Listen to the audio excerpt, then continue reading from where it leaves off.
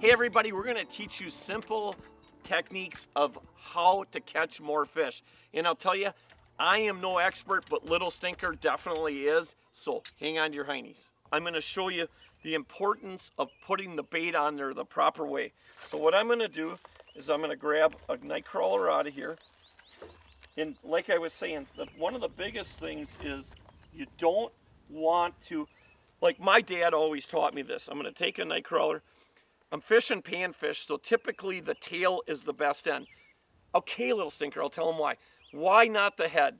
Okay, well, if the head of it, you can see this, I'll use it right now, is real stiff. Okay, you see that, how it hangs? Now watch this. I'm gonna use the tail of it, and typically what I do is I just thread it right through the cut end, and I thread it around, and I thread it just like that. Now look at the way that that thing moves back and forth. There is not a fish in this pond that can resist this. Now I'm gonna show you the way not to do it, the way that like my dad taught me. So what he, his belief was that you have to cover the whole hook.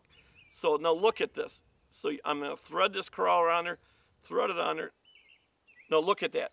You can't really even see the hook anymore on it. But you throw that in there, you know, sometimes fish are going to bite it if they're absolutely starving to death, but it looks no natural. It's not natural whatsoever. So basically, this is something you don't want to do. Don't worry about the hook. The line I'm worried about if it's too heavy, but the hook I'm definitely not worried about. Here's another great way to hook a crawler is basically this really drives them crazy. I'm taking the very center of that worm and hooking them right in the center. And you'll see once we get it in the water how it just floats back and forth.